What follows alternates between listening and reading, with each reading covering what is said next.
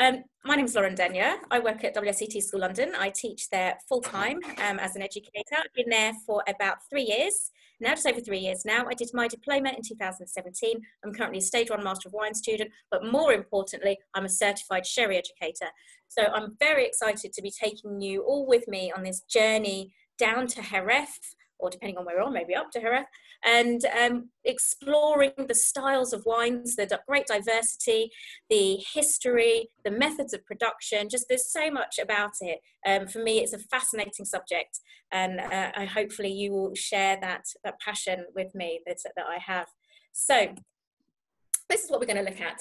Um, a very brief history, okay? Um, it is a historic region and lots of change has happened, political and otherwise, over time. So we'll just have a little look at that. We'll see where we are in the world. Okay, it's very important where Jerez actually is and the area that I'm going to really be alluding to as Jerez. It's not just the, the town, uh, city itself, but areas around it. Um, the climate and the weather there, incredibly important, and that influences the styles of the wines. I'll talk to you a little bit about vineyard and vineyard practice, and of course, very importantly, the grapes that are grown there. There's not lots and lots of different grape varieties. There's one main grape variety and a couple of others that we'll talk about. Um, the winemaking that happens. Okay, so it's a very interesting process making sherry, uh, unlike any other wine really in the world, which is why I find it so fascinating. I think that's why you've all come here this evening. The maturation is an incredibly important part of the, the sherry making process. So I'll go into some detail around that and the unique way they mature the wines, and that includes the Solera system, which I will explain and hopefully you will understand because it is one of the most difficult things I think to to get your head around. But once you do, you can see why it's it's such a fantastic way of making these wines. And then we'll look at the actual sherries out there, what you can buy, what they taste like, um, all, the different styles. And actually, I've left one very, very important thing off the list here. At the bottom, I should have added food pairing, food and sherry, because that's extremely, extremely important, um, and particularly down there in, in Jerez. So, uh, lots and lots of things to cover. So, I hope you've got some time. And anyway, I shall continue. So, um, okay, right here we are. So we have got really a bit of a timeline and you can see an evolution of the name of the place. So goodness me, 3,000 years ago, we had the Phoenicians entering Spain. And of course, that would be an entry point down there and then the south of Spain there, Andalusia. And they brought the vine. So that's one thing that's incredibly important. They brought the vine so grapes can grow. The Romans came quite a bit later and they started um, transporting wines um, from Spain. Then we had the Moors coming in. They um, they invented distillation, so a very important part of the process of making wines. There was the Reconquista with the, the Christians then taking over back again. And then later on, as we can see in the 16th century, or just a bit before actually, in the 15th century, there's the discovery of the Americas. So that was really important for, um, for the transportation of sherry, the marketing, at the market for sherry. And then we've got today. So a bit of a timeline there, very quick very brief history. But you see, originally the area was called Bera, okay, and then that's changed over time. When the Moors came, they called it Sherish. That's incredibly important because sherry, as we know it, is is the is the word for the PDO, sherry and Jerez or Sheresh, um, the, this word here. That's what we call it. That's that's the PDO, and it was very very important that the um, Consejo Regulador, um, well, they were forming, could actually prove that the name of the place was very linked to the word sherry, which we can see. Okay, so the name has changed. You can see Jerez de la Frontera here. It was a it was a, a, a, border town. It was it was a it was defending itself. You know, we're really close to the to the ocean there. And uh, yeah, so over time, and now we've got the place that we would refer to. If you go there, we call it Jerez.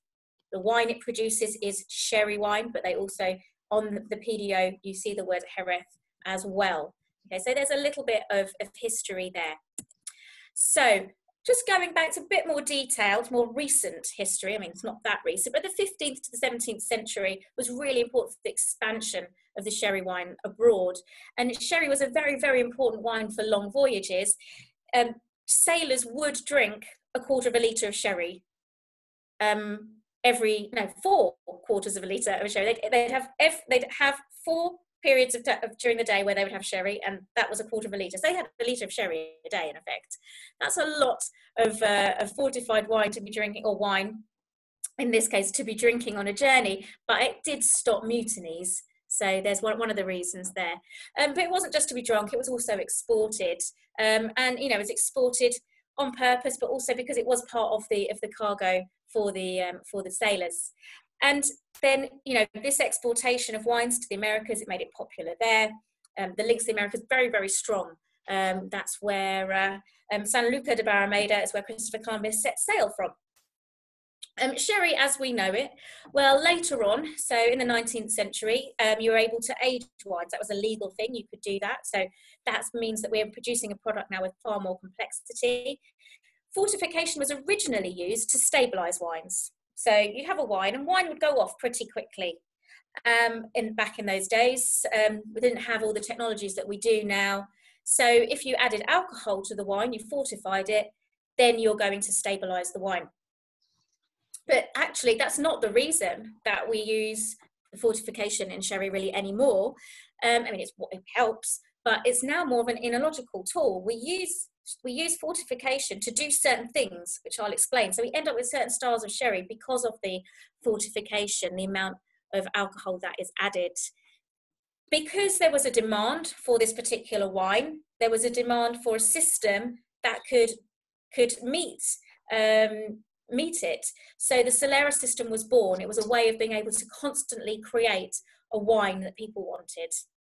And then in 1935, so 1933 was the start of the forming of the Sherry um, DO, okay, so the Denominación de Origen, or PDO. Um, and 1935 officially, that's when the Consejo Regulador um, officially were able to give sherry the name sherry. So that meant that no other places in the world were allowed to call their wine sherry because this happened a lot. In like with champagne, there are parts of the world where they would say, "Oh, this is South African sherry," or "This is British sherry," or "This is Hungarian sherry." So, well, you're making a fortified wine, but it's not actually sherry. It's not made in Jerez. It's not made in the same way. It may not be made to the same quality levels. So it, they needed to protect that name, and they were able to do that from 1935. Although it's always an ongoing um, trouble, not all going, but there, there will be places. I'm pretty sure California still sell sherry, um, Californian sherry. So um, there it isn't just sherry wine that's produced down in Jerez.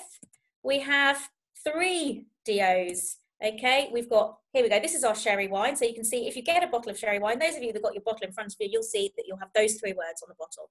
Jerez, Jerez, I don't know how you pronounce it actually, I should probably learn. And sherry, okay, we can see we've got so many different styles there, which I'll talk about later. We've got Manzanilla. So Manzanilla is the is a particular DO for the area of Sanlúcar de Barrameda. I'll talk about that a bit later because Sanlúcar has slightly different conditions. So the wine that's made there, this Manzanilla wine that's made there, is a little bit different to the Fino wine that you get from Jerez. I'll explain why that is. They also have vinegar, so vinegar de Jerez as well. It's a gourmet vinegar, isn't it? It's one of these more expensive ones that you can get that uh, um, has a little bit more to it than your, than your average style. But it's not all, all they make. They have got brandy, well, that, that's not one of the PDOs, they're brandy de Jerez. Um, there's lots of gin production as well. So all sorts being made um, and created down there, but those are their PDOs. So you can't make vinegar um, and call it vinegar de Jerez if it's not made in made in that region. If Manzanilla has to be made in San Lucar, and of course the wine being called sherry has to be made in a specific area as well. Okay, so where are we? All right, so most of us probably have an idea of where sherry wines are made, but for those of you that are learning and exploring for the first time, we are right down here. Okay, so we're in Andalusia. Um, so Jerez is the name that we're giving to the wider region, although Jerez de la Frontera um, the, the, the, little city there, um, that, that's one place, but around it is where we're going to have the grapes, where we're going to have other towns where maturation can take place and production around as well. So you can see where we are. We're right down in the south. Now, if we go back up here, La Mancha is very, very arid.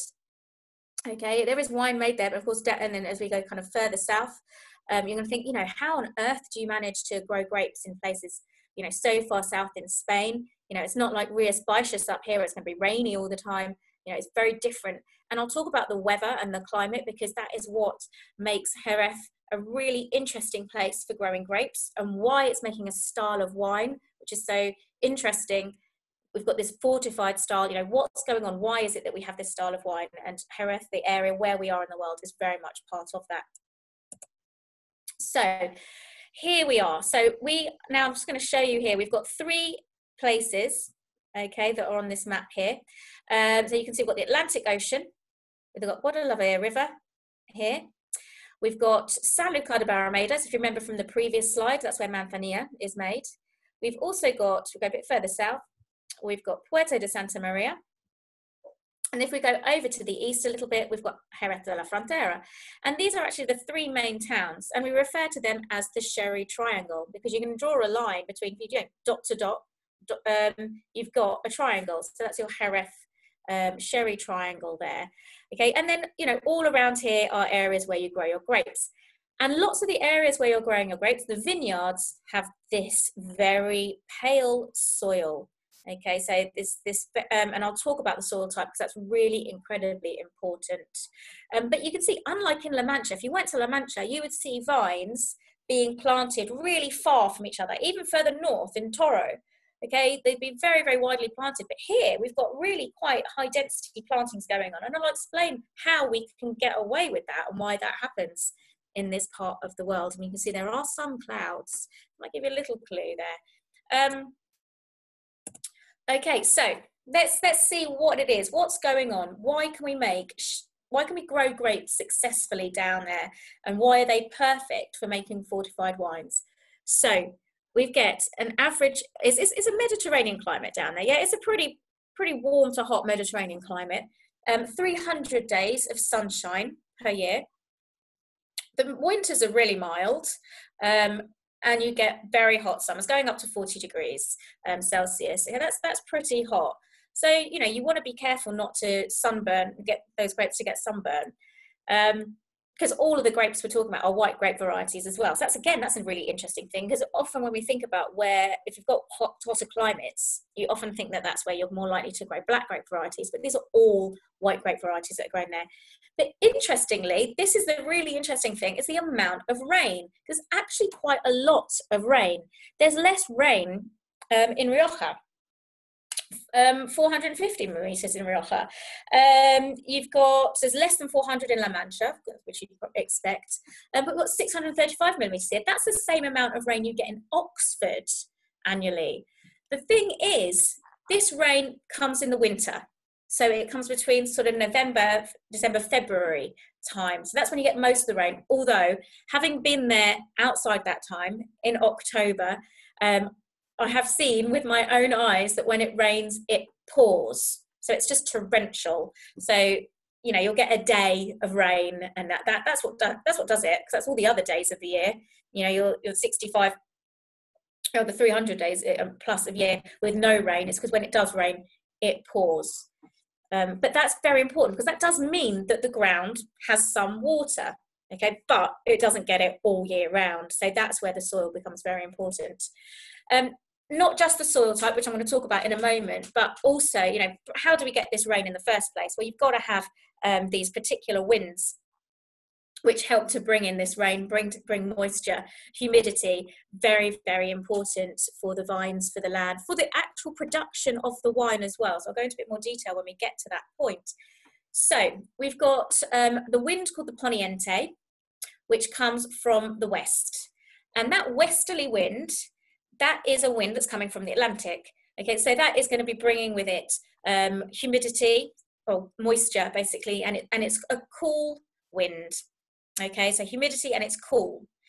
Whereas we've got the Levante, which is coming from the east, um, and it's coming from like the southeast. It's coming across very dry lands. It's hot, so it's a hot, dry wind. So these two winds meet. You know, got the pressure, you've got the rain, but also we have this ability with this poniente wind to influence um, the coastal areas in particular and a bit further inland and bring humidity with it. And that's key to the to the winemaking which I will elaborate in a bit. But I'd like you just to have a look at this diagram here because what we've got is a bodega. I'll go through what a bodega is in a bit, but um, just briefly, it's a an aging um, warehouse where we're keeping the barrels of the wine. And what they do in this part of the world is they build these bodegas so that the windows um, can face the west. So that allows the poniente wind into the bodegas. So that brings coolness and humidity into the bodegas. So that's incredibly important. Okay, so you can see here we've got this arrow and that's allowing the poniente there into the bodega. Um, right, so I'll come back in a bit and, and talk about humidity because that's very important with winemaking.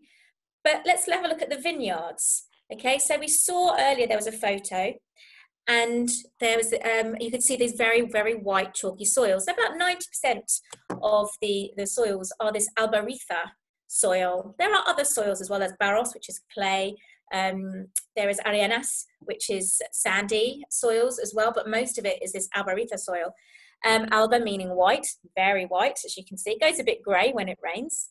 Um, and it is just really old maritime um, fossils like um, bits of octopus and stuff.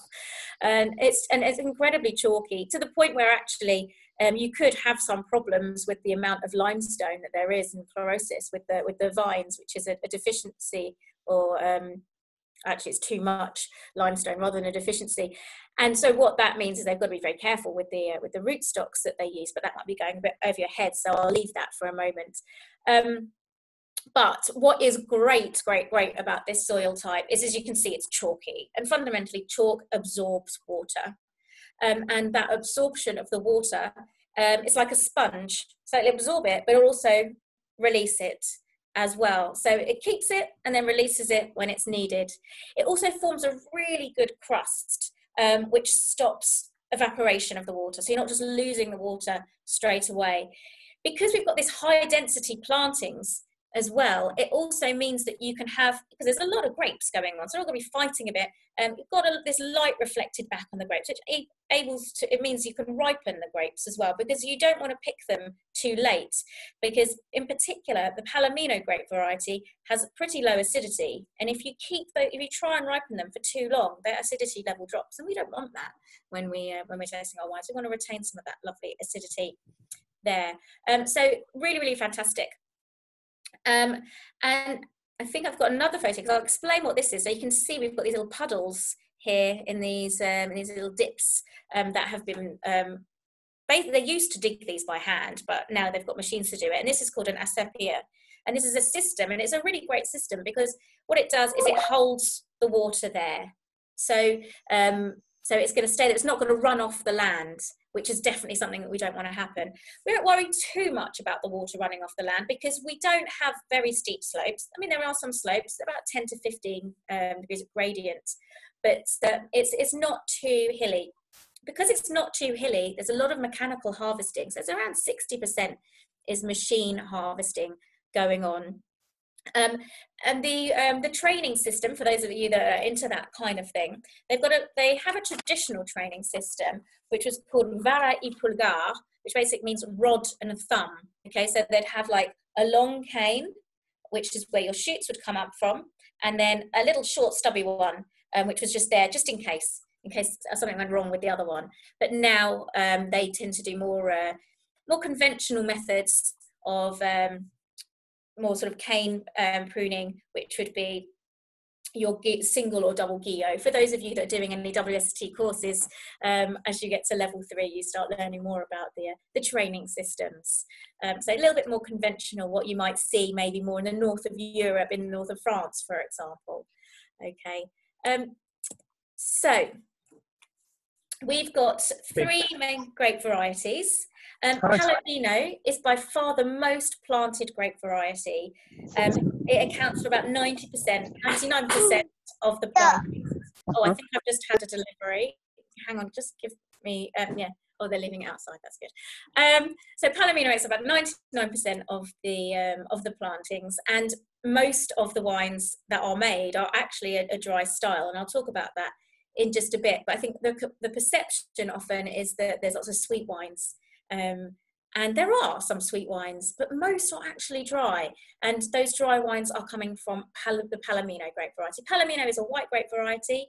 It's a mid to late ripening grape variety, but we need to pick it a tad earlier to keep um, the acidity levels a bit higher and not too much sugar um, in the grape variety there. And um, this is a grape variety that's also grown in, um, in Tenerife, and they call it Listan Blanco there. Um, Palomino, there's some debate as to, as a grape variety, how interesting is it for still wines. I've not really had that many still wines, but I do find the, the wines that you get from um, the Canary Islands do have, tend to have a kind of a mineral quality um, about them, which is really nice. Um, and they may make some lovely wines, but here um, they're really main. It's all it's all about the fortified wines and the aging process, um, and that's where all the Palomino comes into its own here in Jerez. Pedro Ximenez, also known as PX, this only makes sweet wines. Um, this is a grape variety that it, you can see it's a white grape variety, but the wines you get from it don't tend to look particularly like white wines. They're often that brown black colour and I'll talk about why that is a bit later. And then we've got muscatel, um, very, very, very small amounts of muscatel sherry are made. Again, this is a sweet style. And this is a great variety that if you've ever had muscat before, you'll know it's very, very aromatic. You get those grapey, floral, peachy notes. And that's what makes this slightly different style. It's also a sweet wine, not, not normally as sweet as Pedro Ximenez, but is still a sweet style of sherry. But again, very little is made. And in fact, the muscat grows, or muscatel grows better in the sandier soils, um, so the arenas um, by the coast. It's got a couple of particular areas where they're allowed to make and age those wines um, outside of the sherry triangle. Okay, so wine making. Now, um, first thing we're doing is we're pressing our grapes because it's, it's, quite a process. So I hope I don't lose you here, um, but just kind of take you from the beginning. So we've got our grapes, they've come into the winery. And I'm primarily going to be talking about Palomino. I will go back to Moscatel and um, Pedro Ximenez a bit later. So we're pressing the grapes, okay? And we want the first press, um, we're going to get some nice, very, very clear um, juices we need to um, decide what these where these juices are going to go. Are they going to which style of sherry they're going to end up being? So there's a lot of classifications throughout the process of of making sherry. So press the grapes, decide what um, where they're going to be, um, and then we'll have a first ferment. Well, we'll do the fermentation to make a, a base wine, a, dry base wine. That's that's the aim here. Okay. Um, so and they call that that base wine mosto, not to be confused with must, which is often just what we call the grape juice but this base wine they refer to as Mosto. Okay, so we've got our base wine. Um, so the fermentation, it's gone up to 11 to 12%. Okay, so it's not very high. We don't have a lot of sugars in these grapes. We don't want crazy ripening um, because we need to retain that acidity, remember, for Palomino. So I'm talking about Palomino now. So we have another classification, okay? And, and usually what will happen is the, the grape juice that, that's lightest once that's been fermented, that will be classified to become a fino, okay, or manzanilla. Remember, manzanilla is just from San Lucar. Um, and so there's a classification here. So is this sherry going to be a fino or is it going to be an oloroso? So at this point, we've just got two routes for it to go down, fino or oloroso. And how that happens, how that how the wine then becomes a fino or becomes an oloroso is down to the fortification. Now, the fortification happens after fermentation. When we teach about fortified wines, um, we talk about port a lot, okay?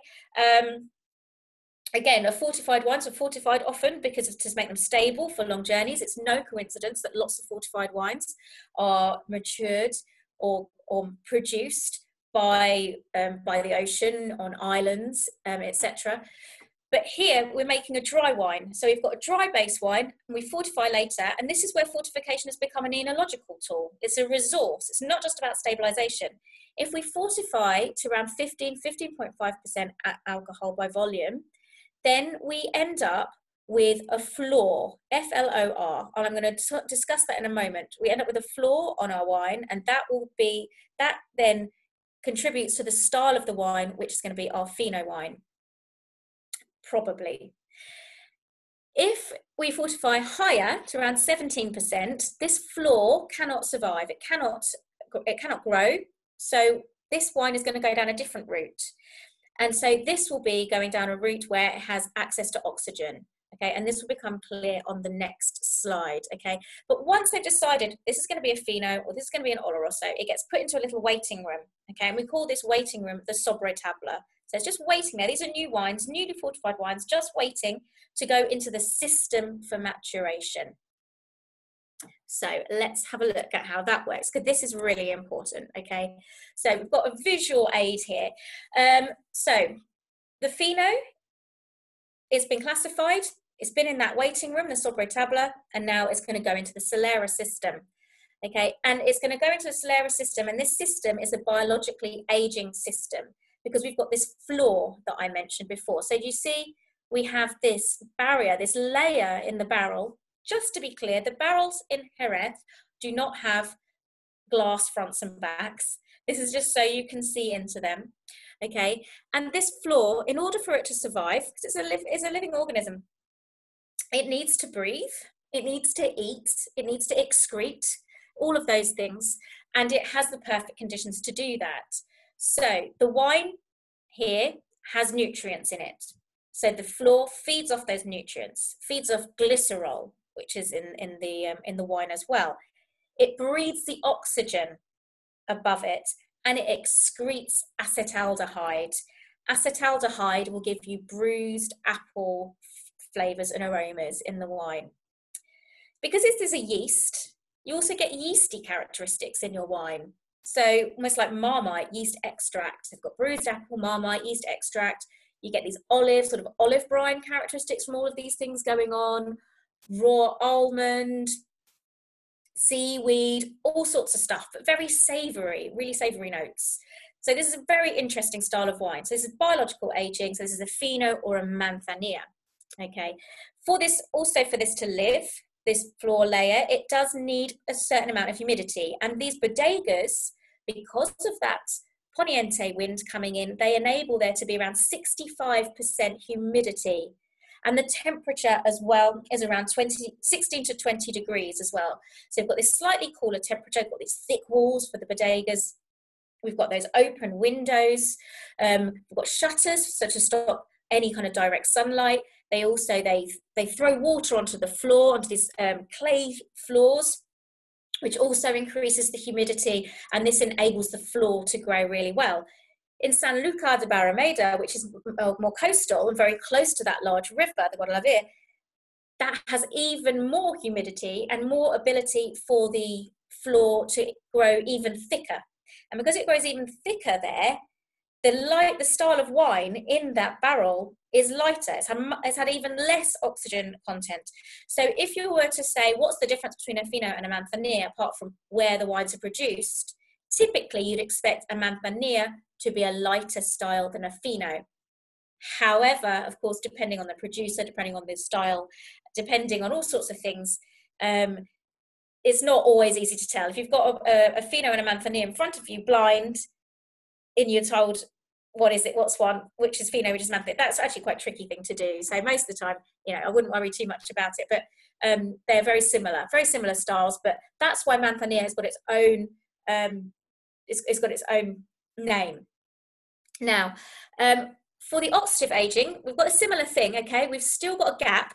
So these are sherry, these sherry butts, they're 600 litre butts. They, gem, they don't fill them up, they always leave a gap. So they leave a gap as well for the, um, for the oxidative aging ones. But this time, because they fortified to 17%, the flor can't survive. So there's no barrier to the air, no barrier to the oxygen. So these will spend a lot of time in contact with oxygen. And as a wine oxidizes over time, you get these very exciting, interesting characteristics, quite different from biological aging. Dried fruits, um, caramel, toffee, um, um molasses in some cases, coffee, nuttiness, lots of nuttiness, Brazil nuts, walnuts. Um, so very different. And often, if you smell them, they smell like they're going to be sweet. Um, these wines because of that kind of association. So, um, but a lot of them aren't, and we'll talk about that in, in, in just a moment. So, you can age these wines for a long, long, long, long time because with biological aging, the flora is relying on nutrients in the wine, and of course, over time, there's going to be less nutrients. Okay, we're able to keep a, quite a, an amount of nutrients, and I'll show you this for the Solera system. Um, but there is a limited amount of time that you can age biological wines. But with oxidative wines, you can go on for a very, very, very long time. And you can do it with sweet wines and you can do it with the dry wines. Okay, so this is where it gets a little bit complicated. This is our Solera system. So I'm going to try and explain this as best I can. Now, this is just a diagram, but I want you to understand that if you actually to go into a bodega, it wouldn't look like this. You would not have um, a set of barrels on the bottom that do one thing, and then set of barrels above doing another thing, and another thing. This is just kind of how it works in theory. In practice, if you go into a bodega, they have different parts of different systems all over the place, partly because um, it's it's to in, ensure them ensure themselves. If, if a if a whole system um, was damaged fire or whatever earthquake then that's it that's gone. And some solera systems have been established in the 18th century. So we really don't want that happening okay? Um, but this is kind of how it works. It's a fractional blending system. So what we have is if you remember, I talked about the young wines. This is the new wine, the newly fortified wine. It's been in a waiting room in the Sobretablas. So either biologically aged um, or it's going to be oxidatively aged. And then it will enter the Solera system. Now, we looking at the colour here, we can have, it's easier to apply this to an oxidatively aged wines because as you may be aware, um, in your experience, you may notice that wines, white wines, when they are older, when they've been allowed to oxidize, then they they go from um, a paler lemon through to kind of amber almost brown color. So um, that's kind of what we're looking at here. So i'll just talk about what we call these parts. So this whole system is called the solera system. And the bottom layer of barrels is actually called the solera as well. So the, the system is named after the bottom layer of barrels and that's because um, the, the spanish word for the ground is suelo. So it kind of comes from that. Um, and we would expect to find this part on, on the ground most of the time. So this is where the oldest wines are. So the oldest wines are in the Solera, and that is most of the time where you're going to take your wine from to be bottled. Okay, so that's that's the Solera. Now the the wine that's slightly younger than that, okay, is going to be in the first Criadera. Okay, so first Criadera. Then the wine that's a little bit younger than that will be in the second criadera and so forth. And you can go up to say 14 criaderas. Now, this is where it gets interesting.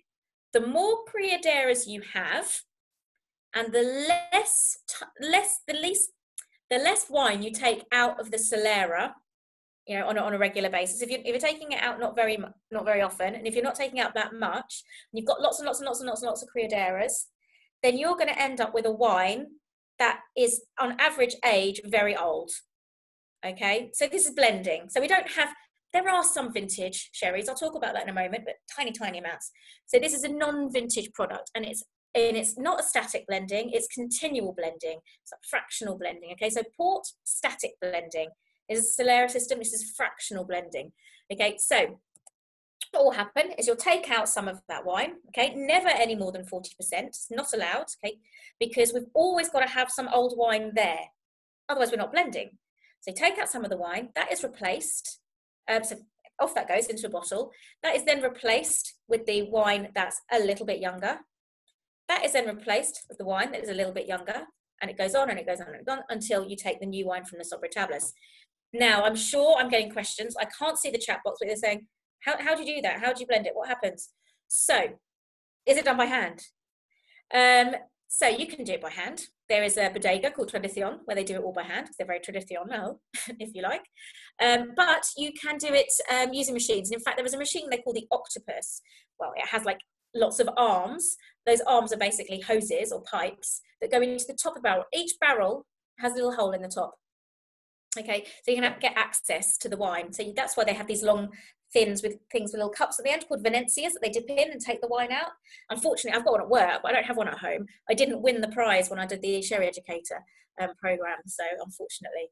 Um, otherwise, I would have won one. So that's always a little bit upsetting when I think about that.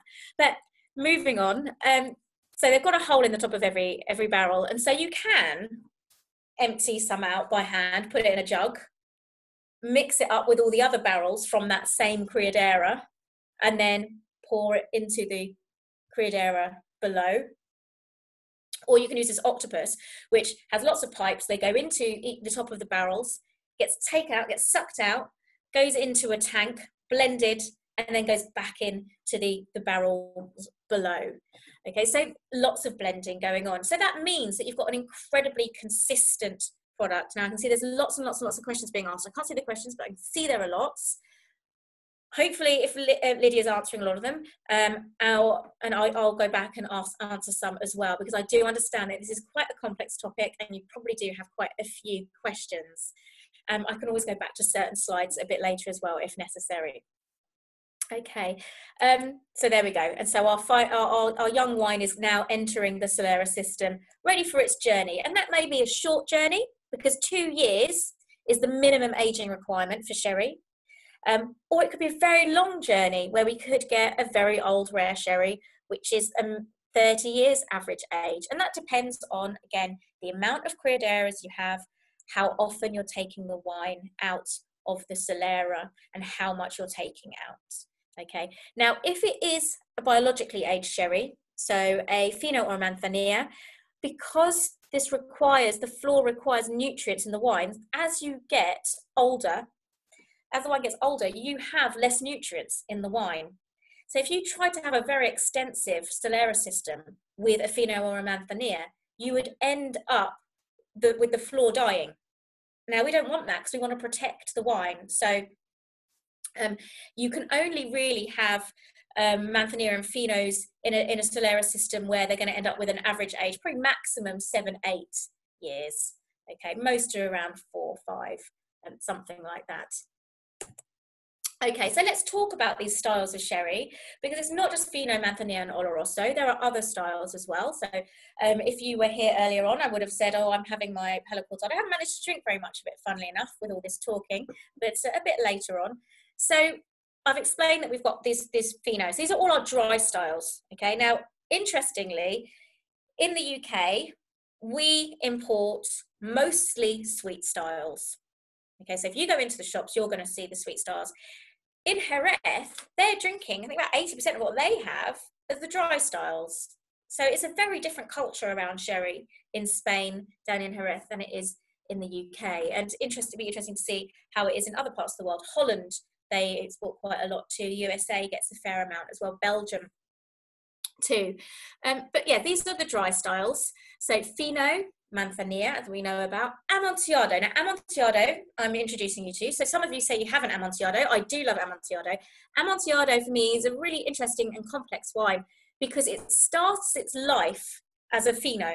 So it starts biologically aging and then um, it's refortified so when it's refortified to 17%, it then starts its path um, oxidatively aging. So you get the, depending on how long it's spent biologically aging and how long it's spent oxidatively aging, you will get characteristics of, the, of both. So you'll get this kind of tangy, olive, yeasty, maybe slightly bruised apple character, coupled with the nuttiness, the Brazil nuts, the caramel, the toffee, dried fruit.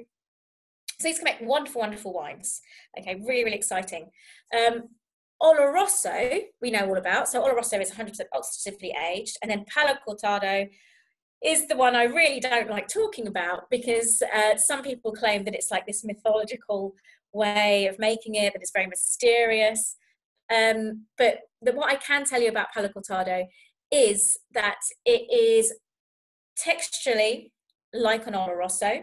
Okay, so you'll find that um, Olorosos and Palo Cortados are thicker on the palate. They have more glycerol, okay, because they have had, oh, an Oloroso has had no flor. So it's had, it hasn't had glycerol um, consumed by the, um, by the flor. And Palo Cortado generally spends a very small amount of time under flor. So it ha- might have a little bit of a biological hint to it, but it's mostly going to be more oxidative. It's going to be thicker on the palate. So it's quite similar to an Oloroso. But another thing about it is not much of it is produced. Okay, so I can tell you two things that I can be sure about with with Palo Cortado that it is rarer. So that's generally why it's more expensive. Okay, um, and it's uh, it's quite similar um, in in to to an, to an Oloroso.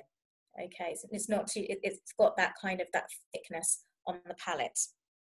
So um, I'm going to talk now about the naturally sweet styles of sherry. So um, I talked about Muscatel and Pedro Ximenez before.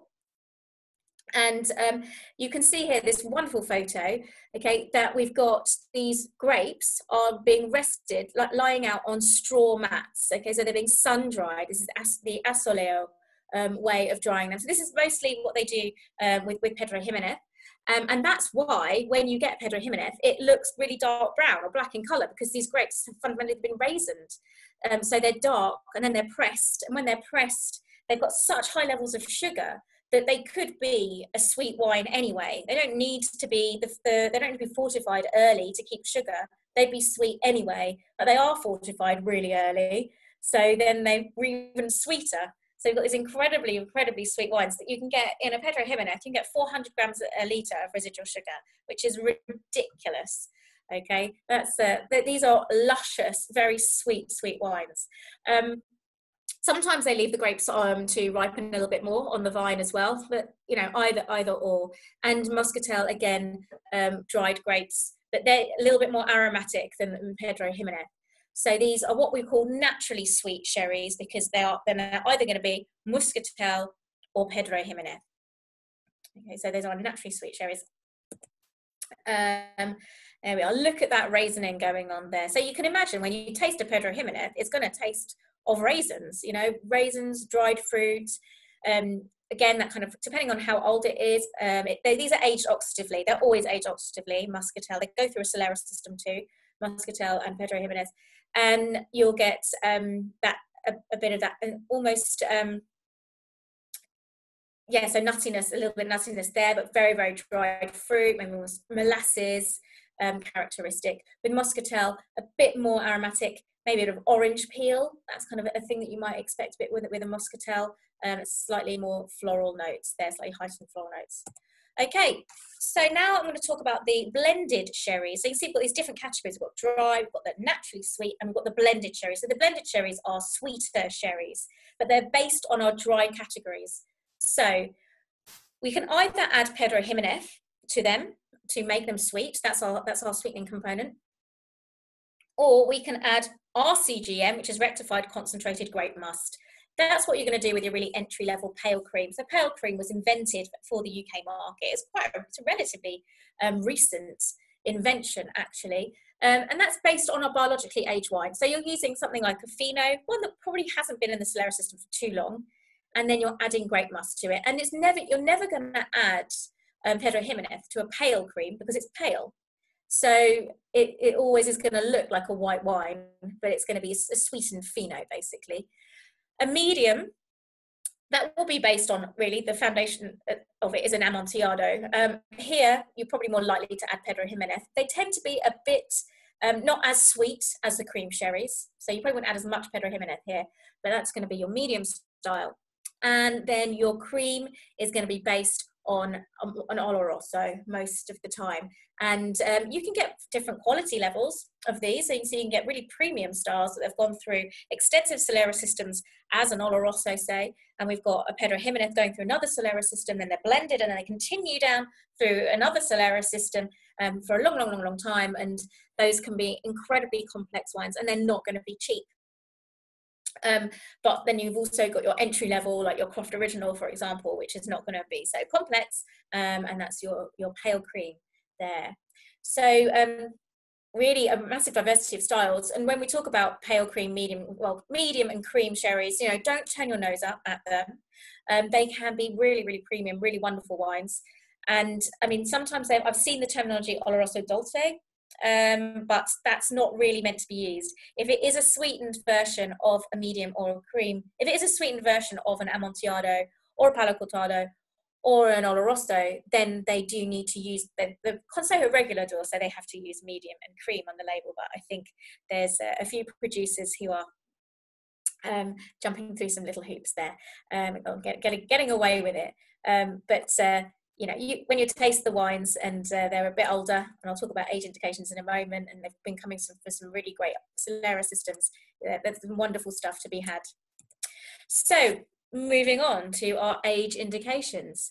So it's an it's a non it's a non-vintage product as we can see it's fractionally blended it's very difficult to make a vintage product using a solera system and we start our age indications at average age of 12 and 15 years so that's pretty complex that's that's you know not taking your wine out of the uh, solera very often and you're going to have a fair few errors for that then we get VOS. Now, VOS, the Latin for that is Vinum Optimum Signatum but we just call it very old sherry.